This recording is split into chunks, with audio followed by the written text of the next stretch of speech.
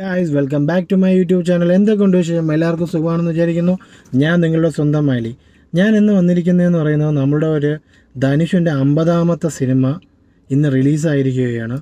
സിനിമയുടെ പേരെന്ന് പറയുന്നത് രായൻ എന്നാണ്. എനിക്ക് ആദ്യം ഈ പടത്തിന്റെ പേര് വന്നിട്ട് റയാൻ എന്നൊക്കെയാണെന്നാണ് ഞാൻ വിചാരിച്ചിരുന്നത്. അപ്പം ഞാൻ എന്റെ ഒരു ഫ്രണ്ടിനെ വിളിച്ചിട്ട് പറഞ്ഞിടാ എനിക്കൊന്നിട്ട് എനിക്ക് വന്നിട്ട് ഒരു സിനിമ ബുക്ക് ചെയ്യണം. നീ ഒന്നത് ബുക്ക് ചെയ്യണമെന്ന് പറഞ്ഞ് ഞാൻ അവനെ വിളിച്ച് പറഞ്ഞു. എന്നിട്ട് ജസ്റ്റ് ഞാൻ ഒന്നിനെ സിനിമയുടെ ഫോട്ടോ മാത്രമേ കൊടുത്തുള്ളൂ. അപ്പോൾ പുള്ളിക്കാരനെ വിളിച്ചിട്ട് പറയണം അണ്ണാ എന്തിനണ്ണ?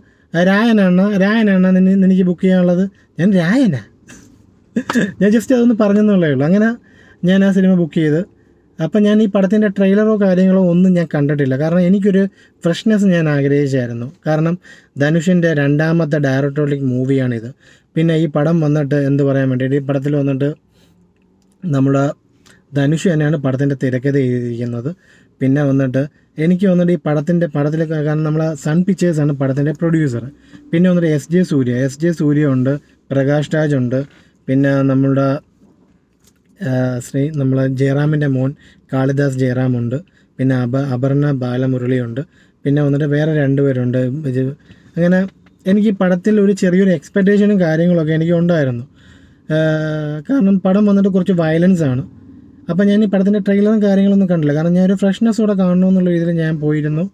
ഇപ്പോൾ എന്റെ ഒരു എക്സ്പെക്റ്റേഷൻ പോലെയല്ല സിനിമ വന്നത്. പിന്നെ ഞാൻ വേറൊരു കാര്യം പറയാം.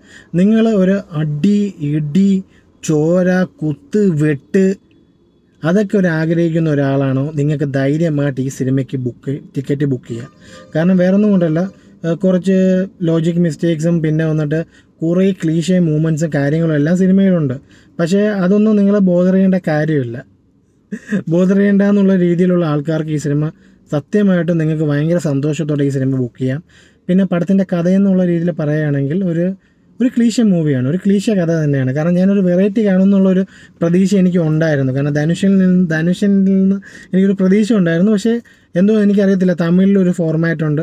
പുള്ളിക്കാരൻ അതേ ഫോർമാറ്റ് അതുപോലെ ഇതിലെടുത്ത് വെച്ചിട്ടുണ്ട്. ഇത് വന്നിട്ട് ഒരു സഹോദരൻ സഹോദരി കുടുംബ പാസമാണ്. ഈ പടം പറയുന്നത് പാസത്തിനെ പറ്റിയാണ് പറയുന്നത്. ഒരു മൂത്ത സഹോദരൻ മൂത്ത സഹോദരനും ധനുഷ് ഒരു മൂത്തൊരു സഹോദരനാണ്. ധനുഷിന് വന്നിട്ട് രണ്ട് അനിയന്മാരുണ്ട് പിന്നെ ധനുഷിന് ഒരു അനിയത്തി ഉണ്ട്. അപ്പം ചെറുതിലെ അവരെ പാരൻസ് വന്നിട്ട് നഷ്ടപ്പെടും. അതിനുശേഷം ധനുഷ് എങ്ങനെ കഷ്ടപ്പെട്ട് ഇവരെ വളർത്തുന്നതും വളർത്തി വലുതാക്കുന്നതുമാണ് സിനിമ. അപ്പം നമുക്ക് നമ്മൾ നമ്മൾ പണ്ട് തൊട്ടേ കണ്ട ഒരു ഫോർമാറ്റ് നമുക്ക് അതുപോലെ ഈ പടത്തിൽ നമുക്ക് റിപ്പീറ്റായിട്ട് വരുന്നുണ്ട്. അത് ഓക്കെ അത് വേറെ കുഴപ്പമില്ല. പിന്നെ വന്നിട്ട് പടം വന്നിട്ട് വളരെ ഫസ്റ്റ് ചെറിയൊരു എഴുച്ചിലും കാര്യങ്ങളൊക്കെ ഉണ്ട്. പിന്നെ പടം കുഴപ്പമില്ലാത്ത രീതിയിൽ പോയായിരുന്നു. പോയതിനു ശേഷം ഇതും വന്നിട്ട് ഒരു ഗാങ്സ്റ്റർ മൂഡിലാണ് സിനിമ പോകുന്നത്. കാരണം ഒരു ഗാങ്സ്റ്റർ ഉണ്ട്. പിന്നെ അത് ചുറ്റിപ്പറ്റിയുള്ള കാര്യങ്ങൾ. പിന്നെ വളരെ സൈലന്റ് ആയിട്ട് ജീവിക്കുന്ന ധനുഷ് പ്രശ്നങ്ങൾക്കോ കാര്യങ്ങളോ ഒന്നും പോകാത്ത ധനുഷ്. എന്നിട്ട് അതിനുശേഷം ധനുഷിന്റെ മൂത്ത അനിയൻ ചെറിയ പ്രശ്നക്കാരനാണ്. പിന്നെ ഇളയ അനിയൻ കോളേജിൽ പഠിക്കുന്ന ഒരുത്തനാണ്. പിന്നെ ഒരു അനിയത്തിയുണ്ട്. അനിയത്തിയുടെ അനിയത്തിയുടെ റോൾ വന്നിട്ട് നല്ല കിടിലമായിട്ട് ആ പെൺകുട്ടി അഭിനയിച്ചിട്ടുണ്ട്. തുഷാര എന്നാണ് ആ പെൺകുട്ടിയുടെ പേര്. ആ അവൾ അവളെ ക്യാരക്ടർ നല്ല കിടിലമായിട്ട് അഭിനയിച്ചിട്ടുണ്ട്. പിന്നെ ധനുഷിന്റെ രണ്ട് അനിയന്മാരായിട്ട് അഭിനയിക്കുന്ന കാളിദാസൻ ജയറാമോ ഓക്കെ ആയിരുന്നു.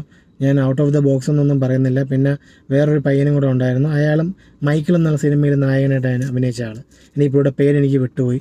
പുള്ളിക്കാരനും പുള്ളിക്കാരന്റെ അഭിനയം ഫാർ ഫാർ ബെറ്റർ ദാൻ നമ്മളുടെ കാളിദാസ് ജയറാമിനെക്കാളും. പിന്നെ വന്നിട്ട് പടത്തിൽ വന്നിട്ട് വില്ലൻ എന്ന് പറയുന്ന എസ് ജെ സൂര്യയാണ്. എസ് ജെ സൂര്യ പുള്ളിയുടെ ഒരു പുള്ളിക്കൊരു ഒരു ഫോർമാറ്റ് ഉണ്ട്. ആ ഒരു ഫോർമാറ്റിലാണ് പുള്ളി സ്ഥിരമായിട്ട് സിനിമകൾ അഭിനയിക്കുന്നത്. ഒരു ഒരു ഓക്കെ കൊള്ളാം കൊള്ളാമായിരുന്നു. കൊള്ളൂല എന്നല്ല കൊള്ളാമായിരുന്നു. പുള്ളിയുടെ പുള്ളിയുടെ തമാശ കലർന്ന രീതിയിലുള്ള സംസാരവും കാര്യങ്ങളൊക്കെയാണ്. പിന്നെ വന്നിട്ട് പ്രകാശ് രാജ് ഉണ്ടായിരുന്നു. പ്രകാശ് രാജിന്റെ പ്രകാശ് രാജ് ഓക്കെ പിന്നെ പ്രകാശ് രാജിന്റെ കൂടെ ഒരു പോലീസുകാരൻ ഉണ്ടായിരുന്നു. ഭയങ്കര ചളമായിരുന്നു. ഭയങ്കര വെറുപ്പിയിലായിരുന്നു ആ സിനിമ കാണുമ്പോൾ നിങ്ങൾക്ക് അതിന് മനസ്സിലാവും. കാരണം ഒരു ക്വാളിറ്റി എന്നുള്ള രീതിയിൽ ഇല്ലായിരുന്നു. കാരണം സൺ പിക്ചേഴ്സ് ഈ പടം പ്രൊഡ്യൂസ് ചെയ്യുമ്പോൾ എനിക്കൊരു പ്രതീക്ഷ ഉണ്ടായിരുന്നു. കാരണം പടം വന്നിട്ട് വൺ ഒരു വൺ ബഡ്ജറ്റ് ഒരു ഒരു ബിഗ് ബഡ്ജറ്റ് മൂവി ആയിരിക്കും. പക്ഷേ ആ ഒരു ആ ഒരു ക്വാളിറ്റിയോ ക്വാളിറ്റിയോ കാര്യങ്ങളോ ഒന്നും ആ സിനിമയിൽ എനിക്ക് കാണാൻ കഴിഞ്ഞില്ല. കാരണം എ റഹ്മാന്റെ മ്യൂസിക് ഉണ്ട്. മ്യൂസിക് വന്നിട്ട് ഓക്കെ ആയിരുന്നു. പിന്നെ ചില സ്ഥലങ്ങളിൽ ആവശ്യമില്ലാത്ത പാട്ടുകളുണ്ടായിരുന്നു. ആ പാട്ടുകളൊന്നും ആവശ്യമില്ലായിരുന്നു. പിന്നെ ഓക്കെ എല്ലാം കൂടെ വേണമല്ലോ. കാരണം തമിഴ് തമിഴ് ഓഡിയൻസിനും പണം കണക്റ്റ് ആവുന്നുണ്ടല്ലോ പടം വന്നിട്ട് വല ധനുഷ് വളരെ സൈലന്റായിട്ട് ഇങ്ങനെ പോകുന്നു. ധനുഷിന്റെ അഭിനയം വേറെ ഞാൻ എടുത്ത് പറയേണ്ട കാര്യമില്ല. കാരണം പുള്ളിക്കാരന്റെ പൊട്ടൻഷ്യൽ എന്താണെന്നുള്ള എല്ലാവർക്കും അറിയാം. പുള്ളി പുള്ളിയുടെ റോൾ വളരെ നീറ്റും ക്ലിയറുമായിട്ട് പുള്ളി ചെയ്തു വെച്ചിട്ടുണ്ട്. പിന്നെ പടത്തിൽ വന്നിട്ട് കൊള്ള കുറച്ച് എന്ത് പറയാം കുറച്ച് ഗാങ്സ്റ്റേഴ്സും എന്ന എന്ന രീതിയിൽ പടം ഒന്ന് മൂവ് ആവും. എന്നിട്ട് അതിനുശേഷം വന്നിട്ട് പടത്തിൽ കുറച്ച് കുറച്ച് സീനുകളുണ്ട് ആ സീനുകളൊക്കെ നല്ല കിടിലായിട്ടുണ്ട് പിന്നെ വന്നിട്ട് ക്ലൈമ ഇന്റർവെല്ലിന് തൊട്ട് മുമ്പേ ഒരു സീനുണ്ട് ആ സീൻ വന്നിട്ട് അളിയ ഒരു രക്ഷയില്ല. ആ സീൻ വന്നിട്ട് നല്ല പൊളിച്ച് വെച്ചിട്ടുണ്ട്. കാരണം ചില ചില ചില സീനുകൾ ഈ സിനിമയിൽ എടുത്തു പറയേണ്ട സീനുകളാണ് ഞാൻ കൂടുതൽ പറഞ്ഞ ആ പടത്തിലോട്ട് ആയി പോകുന്നുള്ളതാണ് ഞാൻ പറയാത്തത്. അതിൽ വന്നിട്ട് ഇന്റർവെല്ലിന് തൊട്ട് മുമ്പേ ഉള്ള സീന് നമ്മൾ ഒരിക്കലും പ്രതീക്ഷിക്കത്തില്ല. ആ ഒരു സീന് വന്ന് കയറും. നോർമൽ ഒരു ട്രാൻസ്ഫോർമേഷൻ ഒരു ട്രാൻസ്ഫോർമേഷൻ തന്നെയാണ്. ആ സീൻ വന്നിട്ട് വളരെ ക്ലിയറായിട്ട് സൂപ്പറായിട്ട് ചെയ്തിട്ടുണ്ട്. പിന്നെ വന്നിട്ട് ധനുഷ് ധനുഷ് വന്നിട്ട് ആക്ഷനും കാര്യങ്ങളൊക്കെ കൊള്ളാം. ആക്ഷൻ എല്ലാം കൊള്ളാം. ആക്ഷൻ വന്നിട്ട് പീറ്റർ റയനാണ് ഈ പടത്തിൽ ആക്ഷൻ ആക്ഷൻ കൊറിയോഫ് കൊറിയോഫ് ചെയ്തിരിക്കുന്നത്. കാരണം കുറേ കാലത്തിന് ശേഷമാണ് പീറ്റർ റയന്റെ ഒരു സിനിമ കാണാൻ പറ്റിയത്. പുള്ളിക്കാരൻ പുള്ളിക്കാരന്റെ വർക്ക് നല്ല കിടിലായിട്ട് ചെയ്തിട്ടുണ്ട്.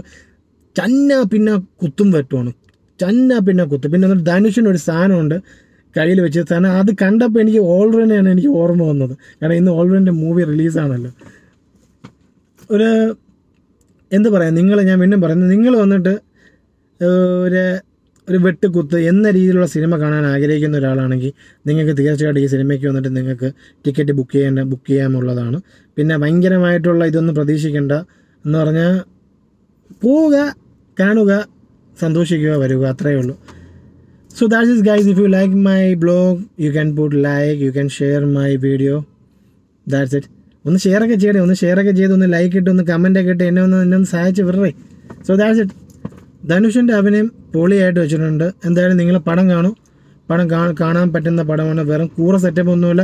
ഫാ ഫാ ബെറ്റർ ദാൻ ഇന്ത്യൻ ടു അതെടുത്ത് പറയേണ്ടതാണ്. ഇന്ത്യൻ ടു വെച്ച് നോക്കുമ്പം ഈ പടം വന്നിട്ട് സ്വർഗമാണ് മോനെ സ്വർഗമാണ് കുറച്ച് നല്ല നല്ല മൂവ്മെന്റ്സ് സിനിമയിലുണ്ട് കുറച്ച് നല്ല നല്ല അഭിനയങ്ങളുണ്ട്.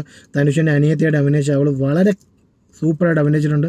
ചില സീനൊക്കെ നമുക്ക് നല്ല സത്യം പറഞ്ഞാൽ ചെറിയ വിഷമവും കാര്യങ്ങളും തോന്നും. പിന്നെ ഉള്ളത് പക്ക ക്രിഞ്ചാണ് നമുക്കത് ആ നമുക്ക് വിചാരിക്കാം ഇതൊക്കെ ആയിരിക്കും നടക്കാൻ പോകുന്നതെന്നുള്ളത് എന്തായാലും it's a one time watchable movie you can watch it so that is guys thank you so much for watching my blog bye bye